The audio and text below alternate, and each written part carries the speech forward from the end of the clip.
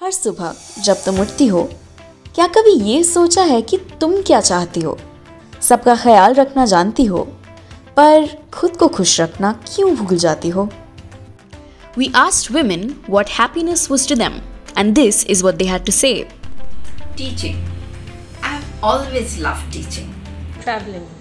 Sometimes it's poetry, sometimes it's shayari.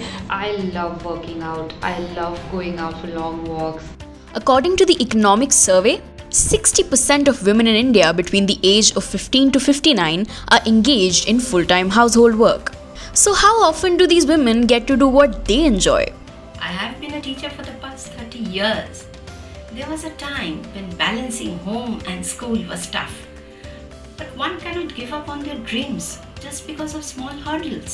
টাইমটা অনেক কমে গেছে কারণ অফিস আছে আমার বাড়ির কাজ আছে তার সাথে ज़्यादा वक्त नहीं मिलता but I try to write at least a piece or two over the weekends and publish it on my social media.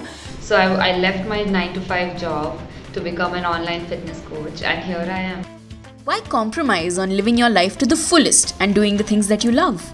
This Women's Day, gift yourself the time to do the things that make you happy. Give yourself the gift of time. Love is the flavor you just can't do without. Mother's recipe. Taste the love.